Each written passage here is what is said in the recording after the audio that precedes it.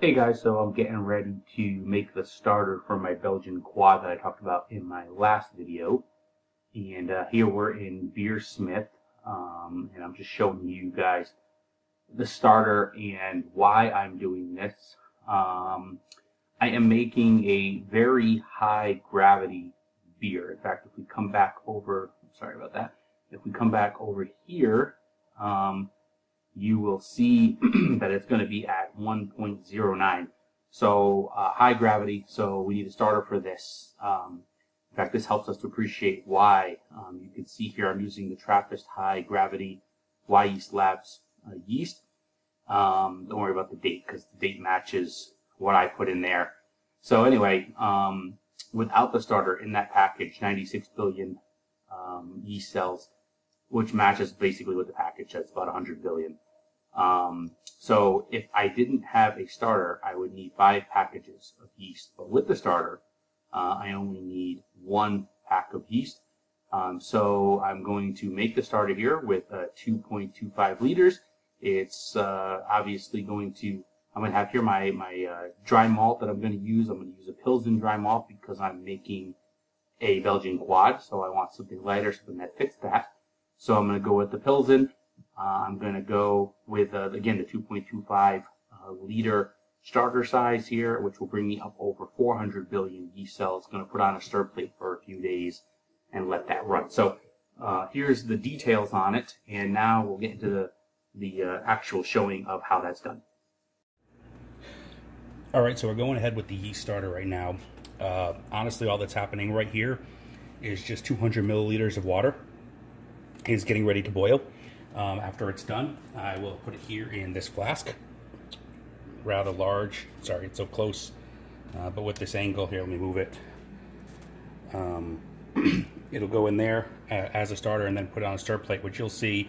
I usually use a smaller one, but because of such high gravity beer, uh, this time I'm going with the larger 200 milliliter or 2 liter starter. Um, what I got here is uh, a hundred or I'm sorry, a cup, about 200 grams of my dry malt extract, and um, what I'm using is uh, just the Pilsen Light because of what I'm making. Since I'm making a Belgian quad, I'm going to go ahead and use uh, the Pilsen Light uh, DME this time. So about uh, one cup of that, and I'm also putting in a quarter of a teaspoon of this yeast nutrient. I've actually never used this before talked to somebody that had it. They said it worked really well in keeping uh, the yeast fortified and giving it what it needed, especially for higher gravity beers. So um, I'm putting in a quarter teaspoon of this now in my starter. And then, uh, as you can see here, it says one teaspoon per gallon. So I'll end up putting five uh, teaspoons or so uh, in my fermenter as well uh, before I pitch my yeast. So anyway, um, we'll come back to this uh, in a few minutes after it's boiling and uh, add the DME and all that and uh, then we'll let it boil for about 15 minutes. Uh, cool it rapidly uh, just like you would normal beer and then we'll pitch the yeast uh, put it on the stir plate and let it go. So the water's boiling now as you can see. We're to just dump in our DME along with our uh, nutrient here. Not too worried about that happening. It's better than a little splashback on me a little powder coming out ain't a big deal and then what we're going to do here is mix it up quickly so that we don't have clumps, things like that. We want to get this dissolved in the water as quickly as we possibly can. So I apologize for the fan. If you can't hear me well, it won't really matter because this point uh, is pretty much done. So basically what we're going to do here is now I'm going to start my timer uh, for 15 minutes and we're to let this boil for 15 minutes. Um, it's kind of like a boil just like you would with beer. Uh, I'm to let this go here and then we're to put it into our um, into my um, can't think of the word it's pretty bad but I'm to put it into my starter um, tube and we're to put it on the stir plate and all that but we'll, we'll rapidly chill it first but we'll get into all that. So right now we're just going to let this go for 15 minutes, 14 and a half more minutes, and then we'll go through all that. All right, so we just did the 15 minute boil, and now I'm going to go ahead and add uh, the starter here to the flask. Now, this is still insanely hot. Literally just came off the boil, so you want to do this slowly and carefully because um, it is very hot. You don't want to burn yourself.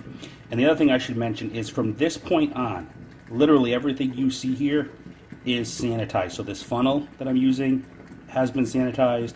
The flask has also been sanitized. Uh, the stopper that I'm going to put in has been sanitized.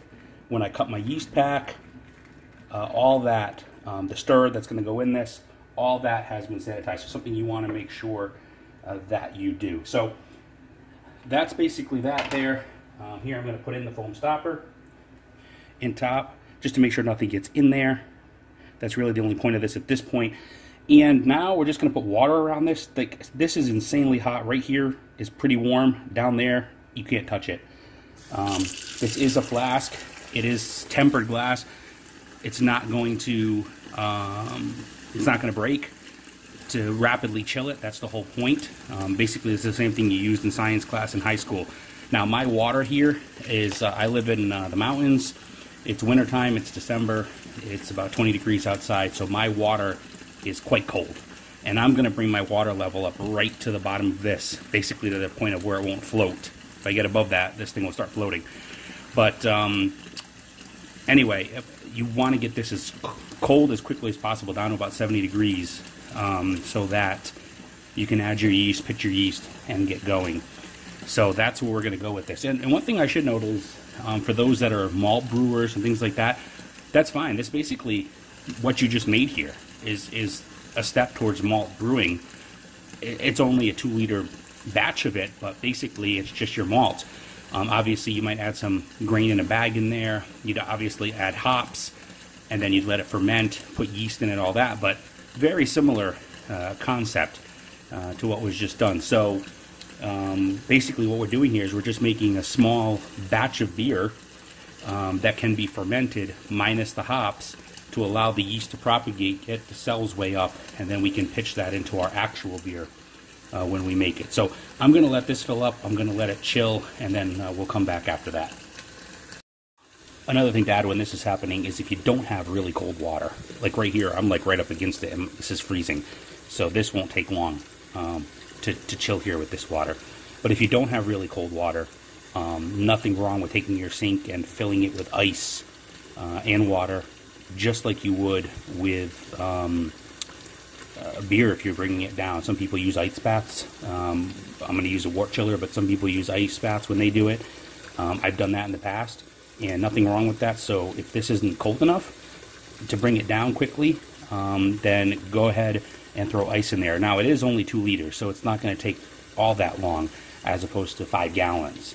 Um, but you still want to get it down as quickly as possible so that you can pitch your pitch your yeast and get going with that. So uh, you don't want to take any chance of contamination, just like with regular beer. Your starter is the same thing. So um, we're, again, we're going to let this fill up a little bit more, sit for a few minutes, uh, cool down, and then we'll pitch the yeast. All right, so this is definitely plenty cool enough now, ready to pitch the yeast. Um, it's nice and cool to the touch. I, I, spun it around a little bit to make sure it wasn't hot up here, anything like that. Everything's nice and cool. So um, we're ready to pitch uh, our yeast into this. Uh, I'm gonna go with this yeast right here. It is uh, Wyeast 3787 Trappist High Gravity Style. Again, making a Belgian quad, so this is a high gravity beer for that. Um, as you can see right here, says 100 billion yeast cells uh, in here. And so uh, we're going to cut this open, we're going to throw it in, and we're going to try to get this up to 400 billion. Um, obviously, I have no way of checking that, but it should just automatically come in that range. So we got this cut. Now, if you haven't used this before, basically the way this works, I don't know if you can see in there or not. Um, there's a package. It's just a yeast nutrient that I'm going to take out. Uh, basically, you slap this, it opens up, and that yeast nutrient, uh, it, it leaks out into the yeast. And that uh, basically activates it. I add a little bit more of that in, uh, a little bit different. So we're going to go ahead and we're going to pour this in. Again, the yeast pack was sanitized, as was the um, the flask, the scissors before I cut everything there. The next thing we're to do is we're to throw this little piece in right here. This is the magnet. This is what stirs the uh, the um, stir plate if you haven't used one before. So we're just going to toss that in. And I leave this right here next to it. This is actually the tool that you use to get it out. Uh, rather important because you obviously don't want that ending up in your beer. So I'm going to put this back on. Stopper. And uh, I'm to go ahead and switch this on. We'll hear it rattling around here in a minute. I'm not sure if you can hear that or not, but it is, it's moving around in there. You'll see the top starting to move. Um, so it's starting to uh, get that swirl going. It's getting a, a, a, little bit of a whirlpool action going right there. So I'm to let that run for the next couple of days. Now, um, just to show, normally before, this is the size I was using. So pretty big difference. And usually this would only be half full. So this is about four times as much uh, for my starter.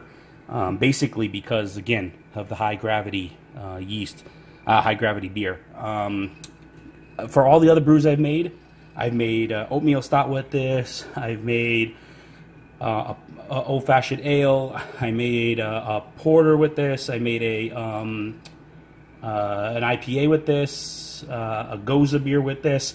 This worked fine for all those. I didn't need anything that big, but all the recommendations were having a, a two liter starter for this. So uh, that's what I did. So this here is basically going to run for the next couple days. Uh, basically what you see here is it. Um, it'll propagate those yeast cells, get them up uh, probably about four times as much as they are now. And the next video you see, uh, we'll be brewing the beer for this. And the way I'm going to do those is actually in segments. I don't want to have a half hour long video or longer of all different beer things. So I'll, I'll show like the mashing in process and then the actual boiling, different parts of that uh, all that, and we'll just try to keep the video shorter. So, uh, hope this helps some of you. Uh, leave comments below. Let me know what you think. Any suggestions? I greatly appreciate it. And I'll see you on Brew Day. Here's the yeast starter uh, about 17, 18 hours after making it. So you can see it's definitely changed color the yeast is definitely propagating. If you get in there, I don't know how well you'll be able to see, but you can definitely see it floating around, all the little particles. You can kind of see it through there. Coming up, kind of making that krausen like it does uh, with regular beer. So uh, that's good, good sign, and be ready to brew tomorrow.